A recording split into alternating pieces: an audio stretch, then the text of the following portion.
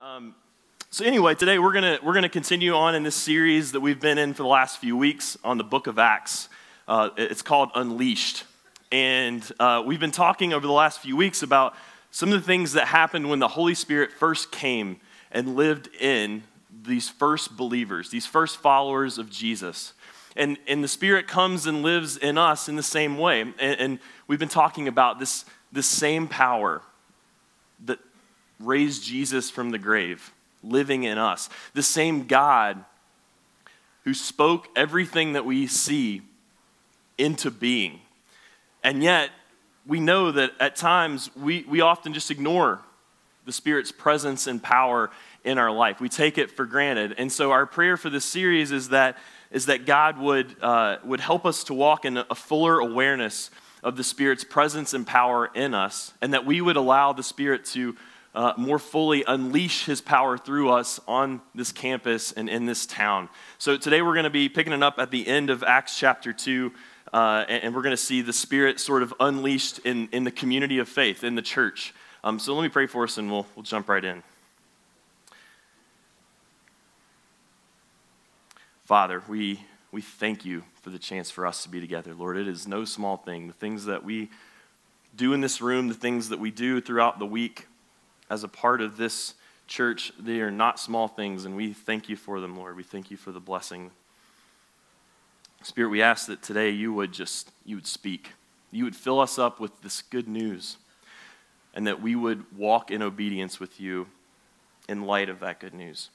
In Jesus' name, amen. All right, so we're going to pick it up in Acts chapter 2, starting in verse 42, and it'll be up on the screen. It says, And they devoted themselves to the apostles' teaching and the fellowship, to the breaking of bread and the prayers. And awe came upon every soul. And many signs and wonders were being done through the apostles, and all who believed were together and had all things in common. And they were selling their possessions and belongings and distributing the proceeds to all as any had need. And day by day, attending the temple together, breaking the bread in their homes, they received their food with glad and generous hearts, praising God and having favor with all the people. And the Lord added to their number day by day those who were being saved. So that's it for today. Just six verses. Just keep it, keep it simple. But man, what a section, right? What a bunch of six verses right here. Uh, I know many of you have probably interacted with these verses many times, whether you've read them or you've heard them, uh, heard them read before, but um, it is freshly stunning when we see this early community, this early body of Christ. I, don't know about you guys, but my, my heart starts to beat a little faster when I see these people and what they had. And the reason for that is that this is the kind of family that we long to be a part of, right? We get excited to see this. We say, man, these people had something. They had some awesome experiences. Since the very beginning, there are, have been two fundamental longings inside of each and every one of us. And this is something that Keith talked a little bit about uh, this weekend at the retreat. These two fundamental longings this longing to be deeply connected with God, and this longing to be deeply connected with other people. Right? We, we see this. And, and Adam and Eve had this perfectly in the garden, right? We see Adam walking with God, we see Adam talking with God. He knew God. He is deeply connected with God. And then Eve comes on the scene, right? God says, It's not good for Adam to do this thing by himself. He needs someone like him. And so I'm going to create Eve. Um, look with me at Genesis chapter 2, verse, starting in verse 21. It says, So the Lord God caused a deep sleep to fall upon the man, and while he slept, God took one of his ribs and closed up its place with flesh. And the rib that the Lord God had taken from the man, he made into a woman and brought her to the man. And the man said, This at last is bone of my bones and flesh of my flesh. She shall be called woman because she was taken out of man. Therefore, a man shall leave his father and mother and hold fast to his wife, the two, and they shall become one flesh. And the man and his wife were both naked and not ashamed. Now, I put this up here sort of as a, uh, in, in the way that it's written in the scriptures because when Adam sees Eve, he literally starts singing. You see how it's sort of like in poetry here. He literally starts singing. He says, At last, at last, I have this person who is like me, who I can share life with. And so Adam and Eve have these two fundamental longings satisfied from the very beginning, right? But we know that the story takes a turn. We know that that is not our experience now, right? We know what happens. We rebelled against God. That harmony, that connection is shattered. And ever since then, we've been searching everywhere for the thing that will satisfy these two longings, right? We look for it everywhere. But no matter where we turn, we can't find it. We can't find anything, and we don't see any hope that one day we might find it, right? Um, when I was in high school, I got a chance to go uh, backpacking out in Colorado with some of my friends uh, uh, from our church. And I was really excited. We, we didn't really know that much about backpacking, to be honest with you, but we thought, hey, we're walking around in the woods with stuff on our backs. How hard can it be, right? Um, and uh, so, so we, we head out there, and, uh, and we started the first morning on this trail. We were, we were making a loop in Rocky Mountain National Park. And, uh, and as we started, it started to rain just a little bit, just really more of a mist. And we're like, man, this feels really nice. Like, got this heavy pack on. It's like 70 degrees. This feels super nice we probably don't need to like put our jackets on or cover up our backpacks, right? And that was mistake number one in the line of many mistakes that week. Um, so we, we start walking up the mountain, and uh, I was kind of hanging out with a couple of different guys who were sort of on my uh, pace level uh, in, in hiking. And so we're having a great time. We're, we're really enjoying things. Um, and then we, we get to the tree line. And, and at the tree line, that's the place where the trees stop growing because they don't have enough oxygen to grow above that level. It's this certain elevation. And we get to the tree line, and the thing that happened at the tree line is that the bottom just fell out of the temperature. I'm talking it dropped like 30 degrees. And so all of a sudden, that, that uh, nice, cool rain that we were enjoying became a bit of an issue. Uh, so we're frantically sort of scrambling to get our, our, our, stuff covered up, to get our jackets on, uh, all of that, but the damage was done. We were soaked and our stuff was soaked. And so we keep going on, and as it's raining, there's this very thick cloud of, of fog around us. And so we can only see about 50 feet in any direction, which was super disappointing because, you know, we were like, man, we're going to be able to see some awesome stuff while we're out here. And we're seeing just fog, which you can see anywhere, right? Um, and so, so we're, we're walking, and we can really only see just sort of the path in front of us. And, and as we walk, the lack of oxygen starts to take its toll on us. There's, there's less oxygen up at that elevation. Uh, we're, we're soaking wet, we're freezing. And then we start to get a little hungry. We had planned on stopping for lunch, but uh, we just kept saying, oh, we'll, we'll, keep going a little bit till this weather breaks. We'll keep going until we get to a spot where we're all together, on and on. And so immediately, this place, this, this trip, which was we were so excited about, has become honestly the most physically miserable day of my entire life. I, I could say that, no, no qualifications. It was miserable. Um, we, we met a park ranger as he was coming down the mountain, and he said, Guys, you need to be really careful today. Uh, with these conditions, it's a great day to get hypothermia. We're like, Awesome. This is awesome. This trip is the best. Um, and, and so we're tired, we're hungry, we're cold and we have no idea how much further we have to go. I mean, it was a desperate situation, honestly. And so my friend, he stops us and he says, Guys, we got to stop. I have got to have something to eat before we go any further. Does anybody have any, anything packed in the top of their, uh, of their packs? And that was mistake number two. We, we packed all our stuff right in the bottom of the pack, obviously, because that's where it should be. Uh, and so we have no food accessible to us. We were looking through all the pockets of the backpack thinking, oh, maybe we stuffed one in there. And, and, and so I, I opened my pack and I couldn't take everything out because everything would get more wet. But I'm sort of just digging around down in it. And I'm moving around and my hand strikes gold. And I pull it out and it's a Snickers. Snickers satisfies, right? We tear the, the label off that thing and, and, we split it up three ways. So, I mean, you know, it's like two bites of a Snickers we're getting. But I can honestly tell you, of all the wonderful meals I've eaten in my entire life, there is nothing, there's never been anything that has tasted as good to me as that Snickers bar, and I will remember it uh, till the day I die. So good. Um, I, I, do, I think they need to get me for the commercials, I'll be honest. So if you guys know anybody, let them know I'm the guy. Um, but, you know, that, that Snickers bar honestly was like manna from heaven. I mean, uh, that sounds like an exaggeration. I, we had to have that thing. And it completely changed our day. We sat down, we ate our two bites of Snickers, and we started to be like, huh, maybe we can do this. Maybe we can make it. We, can, we have no idea how much further we have to go, but maybe we can keep going. We had these two bites of Snickers. It was this hope out of a place that was completely hopeless, right?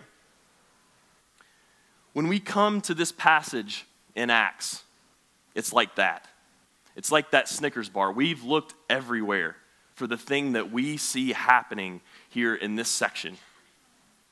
And we say, wow, I've not seen that anywhere else.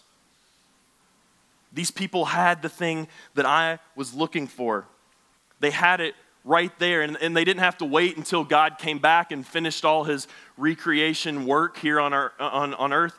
They had it right there in their normal lives. It's this beacon of hope for us. And it's no coincidence that uh, the Spirit comes, and we don't see any of this type of community before then. The Spirit comes, and immediately the next thing is this this amazing community. God comes and God satisfies. So let's look a little bit more closely at some of the things that, uh, that these people were doing. Uh, I think as we do that, what we're going to realize is uh, they weren't really crazy things. They weren't like super spiritual. They weren't, you know, doing anything kind of really out of the ordinary. They were doing pretty simple things. And what that shows us is that the Lord was the one that made this community what it was. Let's just look at it really quickly. So, this was a group of people who shared life together every day, right? This was a group of people who, every single area of their life, they did it together. Um, they ate together. They went about their normal routine together.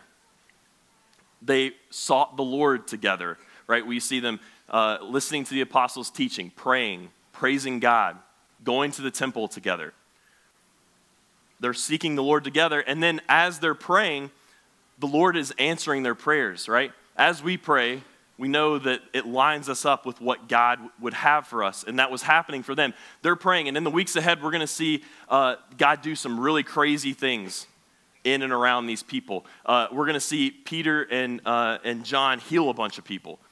We're going to see uh, the believers praying because Peter and John are in jail. And as they're praying, there's going to be an angel come and set them free, right? That will build your faith. If you start praying that someone will just, uh, you know, be released from prison, and then they, they are, that'll build your faith a little bit. Um, we're going to see a couple people who uh, actually drop dead, uh, which I'll let David sort of handle that. We'll buckle up for that in a few weeks. But um, God is moving very clearly and very powerfully in their midst and their faith is continuing to grow. And that is something that excites us, right? And then we get to verse 44 they had all things in common. They, they are bearing one another's burdens, they're celebrating together, they're mourning together, they're challenging and encouraging one another. And they're selling all their possessions so that people who don't have food can have some food. Now, um, that's kind of crazy, right? The, poverty didn't exist in this community. Now, that's not to say that, uh, that it was always like this, but at this point in time, there was no poverty. God was using these people to meet the needs of the community. Not only that, but this was a community where, regardless of the things that divided them before, they were together. No one was left out. And this is crazy because, and it's easy for us to sort of pass over this, but in Acts chapter 2, at the very beginning, we see the Spirit come. They start speaking uh, in all these different languages, telling the good news about Jesus to all these people. And, uh, and what happens, it, it says that there among them, there were people from every nation under the sun. There's people come from all over the place. And it lists a bunch of those uh, nations. And, and, so they're there, and they are all Jews. They're all in Jerusalem to celebrate this Jewish festival, but beyond that, they have really not much common ground right? These are people from, that have had very different life experiences. They're people who have, uh, have come from different places, speak different languages. These are people who have different political affiliations, different theological opinions. The things that typically divide people, we see not dividing this community, right? Uh, likely in, in the midst here, we probably had some Pharisees and some Sadducees, right? You guys remember that from the Gospels, these two groups of uh, religious leaders. These people clashed. They didn't hang out, they weren't friends. And, and here they are breaking bread together. We know that there were people there from Rome, people who had come from, all the way to Jerusalem from Rome. And likely there were some that supported uh, Roman rule in Israel. We also know that there were some people called, uh, uh, this group of people called the Zealots. One of Jesus' disciples, Simon the Zealot, was a part of this group. And the Zealots were essentially uh, a group of terrorists who would try to do these things to uh, destabilize the Roman government in Israel so that the Jews could rule over themselves, right? And now we have these two groups of people together. They're selling their possessions so that no one has any need. That is crazy. All of these things that normally divide us just fade. And so the good news for us is this this same type of family is available to us today. The good news for us is that God continues to use his community, his people, to satisfy those two fundamental desires in our hearts. We've seen it right here, right? We've seen people who are very different in our church come together and be best friends who had nothing in common. We see all kinds of needs being met, right? We see this. And we know that it's not perfect. We know that, uh, that there's issues at times, right?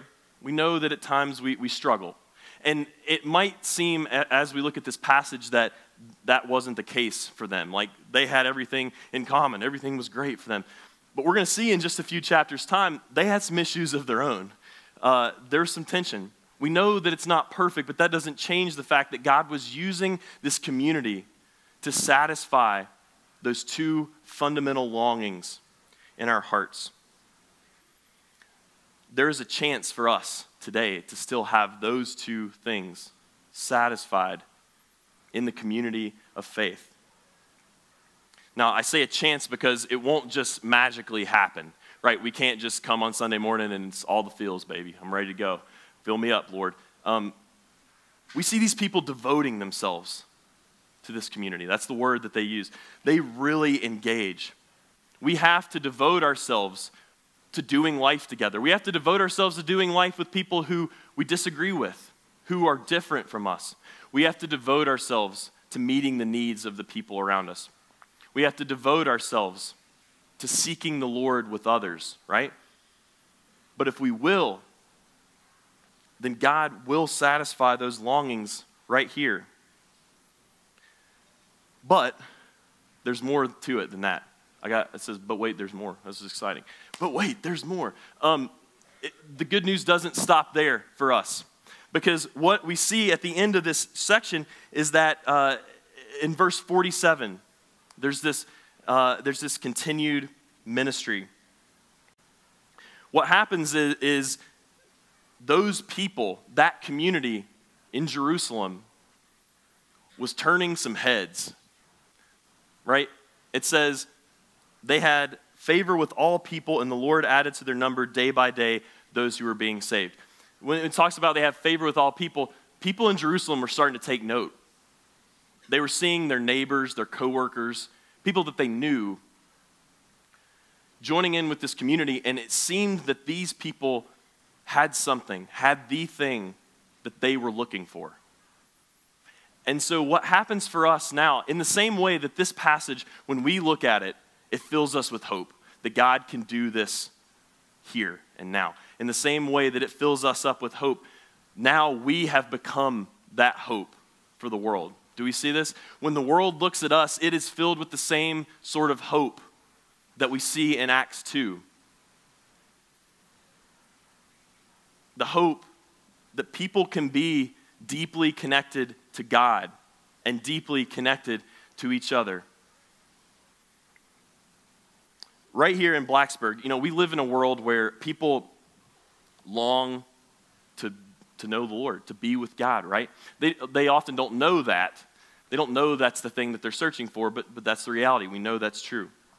We live in a place where uh, people long to be connected to each other. They look for it everywhere they go. We're looking for community. We look for it in the hobbies that we have. We do that with other people. We look for it as we go looking for, for romantic love, right? We look for it as we, we go out to, to bars and all these different things, right? People are searching for this thing. And when they look here, when they see this community, it fills them with hope. Again, we know that it's not perfect, but it fills them with hope. Because they see a group of people who have access to the thing that satisfies their souls. God uses these communities, our communities of faith, to demonstrate to the world what He's offering people look at this body and they say, you know what? Uh, there's, there's Democrats, there's Republicans, there's independents, and they're all in here together, right? There's people of various races in a time in our, when we're very racially divided in this country. And it speaks a strong word that those are not the things that are most important to us in this family. What is most important to us is loving God and loving each other, right? That speaks a pretty strong word in this day and age.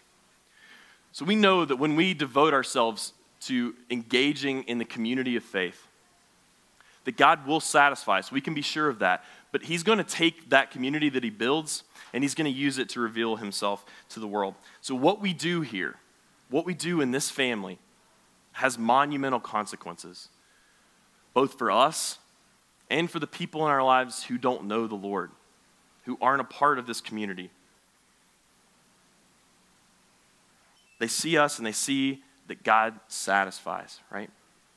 So, as we finish up this morning, we have to ask ourselves, in light of this good news, in light of uh, this, this truth about God using this community to satisfy the desires of our hearts, what do we do? What does it mean for us? It's a nice truth. Maybe, you know, it makes us feel good. But, but what does it mean? How do we live in light of it? There are probably some of you in here who would say, uh, I'm, I'm not really a part of God's family right now. I, I've never asked God to adopt me as a son or a daughter. And that's okay. The question for you today is do you want to be? because that's what's available. As we're talking about these longings being satisfied, that is on the table for you that is available to you. Jesus came here so that that would be possible for you. So if that is where you're at, it's okay. But is this something that you'd like to be a part of? For those of you who uh, already are in, in God's family, uh, the question for you is uh, Have you committed yourself to a community? Have you d- committed to being a part of a church or ministry? And certainly, as we say all the time, uh, I'm, we're not saying that that has to be NLCF. There are truly a lot of great churches and ministries right here in Blacksburg. But we can't overstate how important it is for us to jump in with one and really sink our roots down in that community. If we don't, we're missing part of the Lord's provision for us, right? It doesn't mean that, that you know, we're, we're not good with God. It doesn't mean that uh, he's, he's angry with us. It doesn't mean that even He won't speak to us. But we are missing part of His provision for us if we don't really commit ourselves to a community. Now, many of you are, uh, are committed to a church or a ministry here, and that's awesome. And the question for you is what would it look like for me to be more fully devoted? What would it look like for me to, to be used by God in the ways that we see these people here being used by God? And, and so we've got some challenges for you up here as well. Join an engage group. Again, it is impossible to overstate how important it is. Um, at NLCF, that's the way that we primarily do life together, right? We, it's hard for us to do life with hundreds of people uh, every single week. but we can do it with, you know, 10. And that's what we do in our engage groups. That's part of the Lord's provision for us. Serve in our church. Uh, I can tell you that right now we need help with production, lighting, and sound. No experience required. Shameless plug right there. Um, serve in the church. There's other, there are other ways to serve as well. If that's not your, your flavor, uh, go for the hospitality team, serve on the worship team. Look for the needs of the people around you, right? In, in your engage group, the people that you're sitting next to right now. What might God be calling you to do? How might God be calling you to meet their needs or to challenge or encourage them, right? The Spirit is in us, and He uses us to do these things. Give, right? We see that uh, right in Acts. They're selling their possessions, they're generous with their possessions. Give, it's an important thing. So, as we close this morning, I, I want to, us to just remember that hope that we have when we read that passage, the excitement that comes up in us. And I want us to know that that can be a reality here. In fact, in many ways, it already is. And uh, I think I have a couple of pictures that I think might demonstrate that pretty well. Um, so we had our fall retreat this weekend, and, and, Andrew mentioned this as well. This is from our baptisms yesterday, and we had five people uh, be baptized uh, as, as a part of our family. And um, it was an incredible moment. Honestly, it really was. Uh, it was the way we do things here at LCF is people um, will stand up and they'll say, "This is kind of what God has, has done in my life. This is what's brought me to this moment of, of deciding to follow Him in baptism." Um, and so these five people stood up in front of us and said, This is my story. These are the mighty works of the Lord in my life. And yes, there were moments of incredible pain in those stories. There was struggle, there was doubt, there was rebellion. But ultimately, there was healing and there was victory, right? Even if those things are still in the process of being made whole. It was there. And people started sharing about the things that God had done for them through their brothers and sisters as a part of this church, right? How we had borne their burdens, how we had helped them, how we had encouraged their faith. All of us. And, and knowing what we were going to be talking about today, it was truly an astounding moment for me. It was almost like this section that we, we've just read in Acts got distilled down into our time. Because as they would share these stories, we cheered, we whooped, we hollered. Y'all know what hollering is? We hollered. Um, we did some hollering. We celebrated what God has done. And it was just this moment of saying, Yes, God, you do satisfy those two fundamental longings in us. And in part, you do that through this community. When we see something like that, we grab hold of it and we don't let it go. Let me pray for us. Father, we thank you so much that you satisfy, God. We thank you for that truth. And Lord, we know that it's not perfect. We know that it's difficult at times, Lord. But Lord, we know that it is good. And we thank you for that, Lord.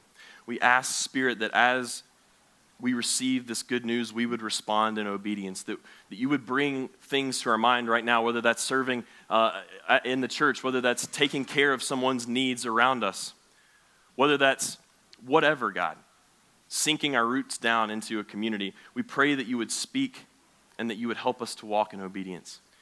Pray these things in Jesus' name. Amen.